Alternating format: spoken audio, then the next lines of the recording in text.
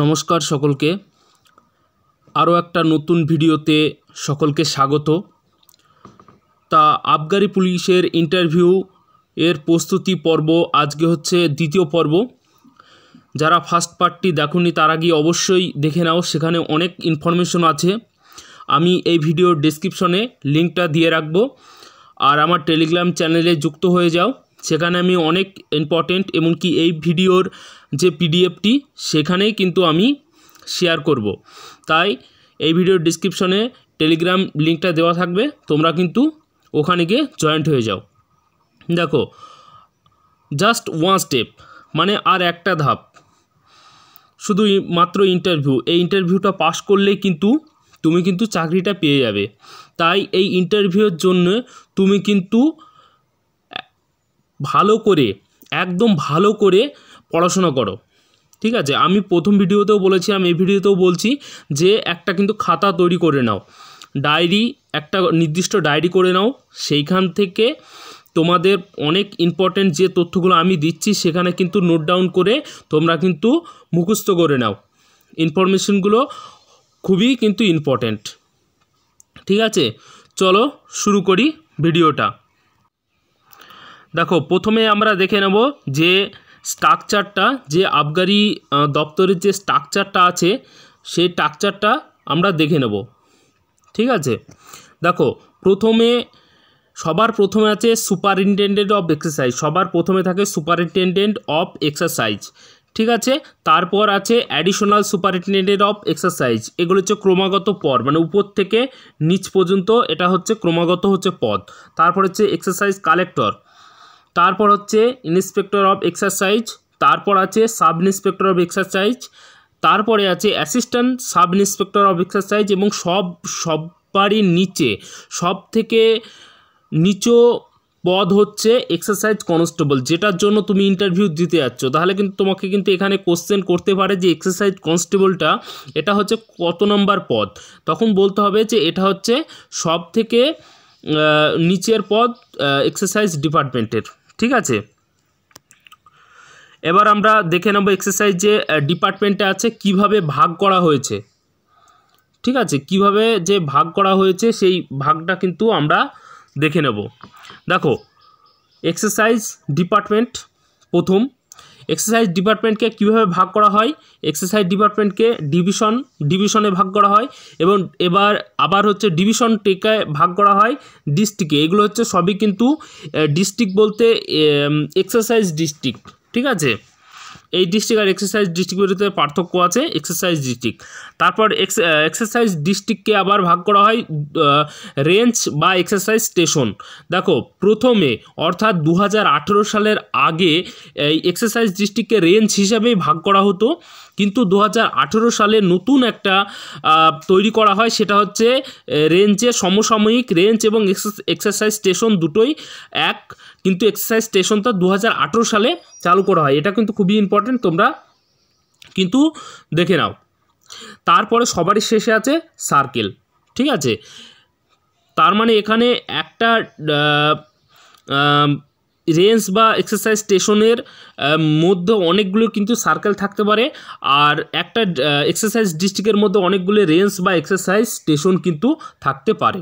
এটা কিন্তু অবশ্যই খেয়াল রাখবে।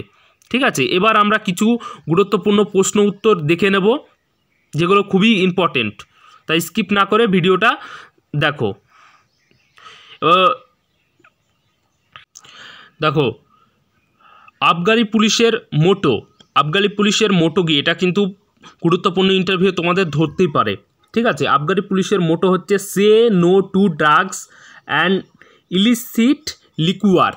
ঠিক আছে? এটা কিন্তু খুবই ইম্পর্টেন্ট তোমরা কিন্তু নোট ডাউন করে নেবে। তারপর হচ্ছে পরের কোশ্চেন পশ্চিমবঙ্গের বর্তমানে এক্সারসাইজ কমিশনার কে আছেন? বর্তমানে পশ্চিমবঙ্গের এক্সারসাইজ কমিশনার আছেন ডক্টর এস উমাশঙ্কর। ইনি একজন আইএএস ঠিক আছে? তারপরে কোশ্চেন যে, পশ্চিমবঙ্গের বর্তমানে special excise commissioner HR and revenue দপ্তরে কে আছেন? শ্রী গৌতম ঘোষ। ইনি হচ্ছেন ডব্লিউবি আরএস ডব্লিউবি আরএস এর ফুল ফর্ম এটা হচ্ছে ওয়েস্ট বেঙ্গল রেভিনিউ সার্ভিস দেখতে পাচ্ছ? পশ্চিমবঙ্গের বর্তমানে স্পেশাল এক্সারসাইজ কমিশনার এনফোর্সমেন্টে কে আছেন? ইনি হচ্ছেন শ্রী সুব্রত বিশ্বাস। ইনি হচ্ছেন ডব্লিউবিআরএস মানে ওয়েস্ট বেঙ্গল রেভিনিউ সার্ভিসে তারপরে আরেকটা খুবই গুরুত্বপূর্ণ কোশ্চেন এটাও। পশ্চিমবঙ্গে কয়টি আবগারি ডিভিশন আছে? আমি ডিভিশন ভাগ করে দেখিয়ে দিলাম কিছুক্ষণ আগেই। পশ্চিমবঙ্গে কয়টি আবগারি ডিভিশন আছে? আটটি। এটা কিন্তু খুবই ইম্পর্ট্যান্ট ঠিক আছে? যে আটটি আবগারি ডিভিশন আছেন। এবার আমরা যে আটটি আবগারি ডিভিশন আছে, সেই আটটি আবগারি ডিভিশনের নাম দেখে নেব। এগুলো কিন্তু নোট ডাউন করে নাও। এগুলো খুবই ইম্পর্টেন্ট দেখো, আটটি ডিভিশন হচ্ছে, প্রথম হচ্ছে আলিপুর, আলি, আবগারি ডিভিশন ব্যারাকপুর আবগারি ডিভিশন দুর্গাপুর আবগারি ডিভিশন বর্ধমান আবগারি ডিভিশন কৃষ্ণনগর আবগারি ডিভিশন মালদা আবগারি ডিভিশন জলপাইগুড়ি আবগারি ডিভিশন এবং দার্জিলিং আবগারি ডিভিশন ঠিক আছে? তোমাদের ইন্টারভিউতে দু একটা বা তুমি কোন আবগারি ডিভিশনের ভিতরে পড়ছো, তোমরা কিন্তু সেটা দেখে নেবে। ঠিক আছে? দেখো, এখানে বলে দিই যে কৃষ্ণনগর। কৃষ্ণনগর আবগারি ডিভিশন কোন কোন এক্সারসাইজ জেলা নিয়ে গঠিত? এক্সারসাইজ জেলা আর জেলার ভিতরে পার্থক্য আছে। এক্সারসাইজ জেলা, ঠিক আছে? এক্সারসাইজ জেলা, কৃষ্ণনগর আবগারি ডিভিশন কোন কোন এক্সারসাইজ জেলা নিয়ে গঠিত? এটা হচ্ছে নদিয়া এক্সারসাইজ বহরমপুর এক্সারসাইজ এবং জঙ্গিপুর এক্সারসাইজ এই তিনটি এই তিনটি নিয়ে কিন্তু গঠিত। তারপরে কোশ্চেন যে আবগারি বিভাগ কোন মন্ত্রকের অধীনে কাজ করে? আবগারি বিভাগ অর্থ মন্ত্রকের অধীনে কাজ করে। ঠিক আছে? তারপরের কোশ্চেন দেখে নিই যে বর্তমানে আবগারি মন্ত্রী কে আছেন? ইনি হচ্ছেন আমাদের মুখ্যমন্ত্রী মাননীয় শ্রীমতী মমতা বন্দ্যোপাধ্যায়। বর্তমানে অর্থমন্ত্রীকে অর্থমন্ত্রী আছে অমিত মিত্র। বর্তমানে এক্সারসাইজ প্রিন্সিপাল সেক্রেটারি বর্তমানে এক্সারসাইজ প্রিন্সিপাল সেক্রেটারি কে আছেন? পশ্চিমবঙ্গের শ্রী মনোজ পান্থ। ইনি একজন আইএএসএস ঠিক আছে? বর্তমানে অ্যাডিশনাল এক্সারসাইজ কমিশনার কে আছেন? শ্রীমতী শাবনাম মুখোপাধ্যায়। তাহলে এই কোশ্চেনগুলো কিন্তু খুব ইম্পর্টেন্ট ঠিক আছে? কারণ যেহেতু এরা বর্তমানে পদে আছে এক্সারসাইজ ডিপার্টমেন্টের। তাহলে সেজন্য এগুলো কিন্তু খুবই ভালো করে নোট ডাউন করে নাও। দেখো তারপরের কোশ্চেন যে পশ্চিমবঙ্গে এক্সারসাইজ ডিস্ট্রিক্ট কয়টি আছে? একত্রিশটি। তারপর একটা কোশ্চেন আছে এক্সারসাইজ ইন্সপেক্টরের পোশাকে কয়টি স্টার থাকে? এটা কিন্তু খুবই ইম্পর্টেন্ট তোমাদের কিন্তু ধরতেই পারে যে এক্সারসাইজ ইন্সপেক্টর পোশাকে কয়টি স্টার থাকে? তিনটি স্টার থাকে। এক্সারসাইজ ইন্সপেক্টর এটা হয়ে যাবে সরি এখানে এক্সারসাইজ হবে। এক্সারসাইজ সাব ইন্সপেক্টরের পোশাকে কয়টি স্টার থাকে? এটা হয়ে যাবে দুইটি। ঠিক আছে? তারপরে আর একটা খুবই ইম্পর্টেন্ট একটা কোশ্চেন আমরা দেখে নেব। যে আবগারি কনস্টেবল আবগারি কনস্টেবল এবং ওয়েস্ট বেঙ্গল কনস্টেবল এর পার্থক্য কী? তোমাকে কিন্তু পার্থক্য ধরতেই পারে, আবগারি কনস্টেবল এবং কি ওয়েস্ট বেঙ্গল কনস্টেবলের তা দেখো, আবগারি কনস্টেবলরা ডব্লিউবি মানে ওয়েস্ট বেঙ্গল কনস্টেবলদের মতো পোশাক পরিধান করে। কিন্তু আবগারি পুলিশের কাছে কোনো বন্দুক বা অস্ত্র থাকে না। দেখতে পাচ্ছ, আবগারি পুলিশের কাছে কিন্তু কোনো অস্ত্র বা বন্দুক থাকে না। এরা যখন রেড করতে যায়, তখন ডব্লিউবি পুলিশকে সঙ্গে নিয়ে যায়। মানে ডব্লিউবি পুলিশের সাহায্য নিয়ে এরা হচ্ছে রেডটাকে কমপ্লিট করে। যেহেতু এদের কাছে কোনো অস্ত্র বা বন্দুক থাকে না। ঠিক আছে? তারপর হচ্ছে যে এক্সাইজ পুলিশের সার্কেল কাকে বলে? সার্কেল কাকে বলে? আমি দেখিয়ে দিয়েছি এর আগে যে সার্কেল কার পরে সার্কেল থাকে। দেখো, সার্কেল কাকে বলে? Police station. পুলিশ স্টেশনকে যেমন থানা বলে, আমাদের পুলিশ স্টেশনকে কি বলি? থানা। ঠিক আবগারি পুলিশের স্টেশনকে বলা হয় সার্কেল। ঠিক আছে? আবগারি পুলিশের স্টেশনকে বলা হয় সার্কেল। তারপরের কোশ্চেন যে আবগারি দপ্তরের সবচেয়ে নিচু পদ কি? আমি এর আগেও বলে দিয়েছি। এক্সারসাইজ কনস্টেবল এবার হচ্ছে খুবই গুরুত্বপূর্ণ একটা কোশ্চেন যে এক্সারসাইজ কনস্টেবলের কাজ কি? এটা কিন্তু ম্যাক্সিমাম ইন্টারভিউ ধরবে ম্যাক্সিমাম স্টুডেন্টকে তাই এটা কিন্তু তোমরা নোট ডাউন করে নেবে ভালো করে। দেখো এক্সারসাইজ অফিসারদের কথা মতো কাজ করা এবং বেআইনিভাবে মদ বিকৃত বা বিতরণ হচ্ছে কি না এই সব খবর সংগ্রহ করে ডিপার্টমেন্টকে জানানো। আর ডিপার্টমেন্টের অফিসাররা যখন এই বিষয়ে রেড করে, তখন অফিসারকে সাহায্য করা হচ্ছে এক্সারসাইজ কনস্টেবলের কাজ। ঠিক আছে? অর্থাৎ এক্সট্রা এক্সারসাইজ কনস্টেবলের প্রধান কাজ হচ্ছে ডিপার্টমেন্টের যে উচ্চপদস্থ অফিসার আছে, তাদের সঙ্গে সঙ্গে কাজ করা, তাদেরকে সাহায্য করা। ঠিক আছে? দেখো, এক্সারসাইজ ডিপার্টমেন্ট কয়টি আইনের উপরে কাজ করে ও কি কি? কয়টি আইনের উপরে এক্সারসাইজ ডিপার্টমেন্ট কাজ করে? এটা কিন্তু খুবই ইম্পর্টেন্ট কোশ্চেন তোমরা কিন্তু দেখে নাও। এক্সারসাইজ ডিপার্টমেন্ট তিনটি আইনের উপরে কাজ করে। কটি? তিনটি।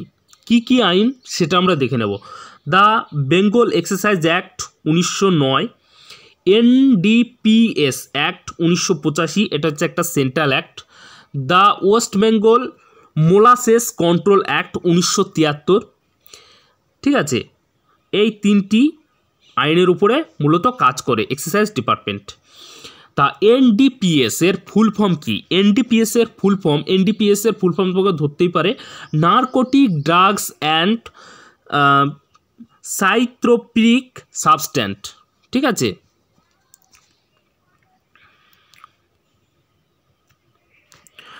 তারপরে আমরা আমরা বাংলায় দেখে নেব যে নার্কোটিক ড্রাগস যেটা বললাম সেটা আসলে কি।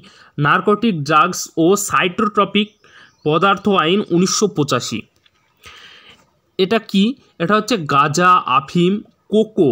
কোকো হচ্ছে এক ধরনের গাছ, ঠিক আছে? যেরকম আফিম গাছ হয়, গাঁজা গাছ হয়, কোকো হচ্ছে একটা গাছ। অবৈধ চাষ বন্ধ করা এবং চরস, হিরোইন, কোকেন এই কোকো গাছ থেকেই তৈরি হয় কোকেন। কোকেনের অবৈধভাবে বিক্রি, আমদানি ও রপ্তানি বন্ধ করা হয় এই আইনে। এটা হচ্ছে উনিশশো পঁচাশির এই আইনে। অর্থাৎ এক্সারসাইজ ডিপার্টমেন্ট কিন্তু এই আইনের দ্বারাই কাজ করে। তারপর তারপর যেটা আছে যে মোলাসেস। মোলাসেস জিনিসটা কি? আমরা দেখব the West Bengal molasses contract উনিশশো তিয়াত্তর। এটা হচ্ছে পশ্চিমবঙ্গ গুড় নিয়ন্ত্রণ আইন উনিশশো তিয়াত্তর, গুড়। তা গুড় জিনিসটা কি? গুড়টা কি কাজে লাগে আমরা দেখব যে পশ্চিমবঙ্গে গুড়ের উৎপাদন, সরবরাহ ও বন্টন ব্যবসা নিয়ন্ত্রণের জন্য একটি আইন। চিটিয়া গুড় থেকে চোলায় মদ তৈরি হয়। চিটিয়া গুড় থেকে চোলায় মদ তৈরি হয়, সেই জন্যই এই গুড় নিয়ন্ত্রণ আইন উনিশশো তিয়াত্তর সালে এটা পাশ করা হয়েছে। তারপর আমরা দেখে নেব আরও কিছু কোশ্চেন ডিভিশন। ডিভিশনের প্রধানকে কি বলে? ডিভিশনের প্রধানকে বলে জয়েন্ট বা সিনিয়র কমিশনার অফ এক্সারসাইজ। ঠিক আছে? এক্সারসাইজ ডিস্ট্রিক্টের প্রধানকে কি বলে? এক্সারসাইজ ডিস্ট্রিক্টের প্রধানকে বলে সুপারিনটেন্ডেন্ট অফ এক্সারসাইজ এক্সারসাইজ ডিস্ট্রিক্টের প্রধানকে। সার্কেলের প্রধানকে কি বলে? সার্কেলের প্রধানকে বলা হয় সাব ইন্সপেক্টর অফ এক্সারসাইজ ঠিক আছে? তা এই ছিল আজকের সেকেন্ড পার্ট আমি এরপরে থার্ড পার্ট নিয়ে আসব। আবগারি, তোমরা ভালো করে এইগুলো মুখস্থ করে নাও নোট ডাউন করো। আর অবশ্যই আমার ভিডিওটি যদি ইনফরমেটিভ মনে হয় তোমাদের, তাহলে ভিডিওটিকে অবশ্যই লাইক করো এবং কি সাবস্ক্রাইব করো চ্যানেলটাকে এবং কি এই ভিডিওটা তোমাদের বন্ধুদের সাথে শেয়ার করো। অনেক ইনফরমেশন দেওয়া আছে, এই ইনফরমেশন তোমরা কিন্তু নোট ডাউন করে নাও করে নাও। হ্যাঁ আর অবশ্যই এর পিডিএফটি আমি আমার টেলিগ্রাম চ্যানেলে সেন্ড করব। তোমরা টেলিগ্রাম চ্যানেলে যুক্ত হয়ে যাও। আর যারা প্রথম ভিডিওটা দেখোনি ফার্স্ট পার্ট এই আবগারি ইন্টারভিউয়ের তারা কিন্তু ফার্স্ট পার্টটা দেখে নেবে। এই ভিডিও ডিসক্রিপশনে লিঙ্ক দেওয়া থাকবে। সকলে ভালো করে প্রস্তুতি নাও, আর একটা মাত্র ধাপ পেরোলে কিন্তু তোমরা চাকরিটা হয়ে যাবে। ঠিক আছে? আর ভালো করে প্রস্তুতি নাও।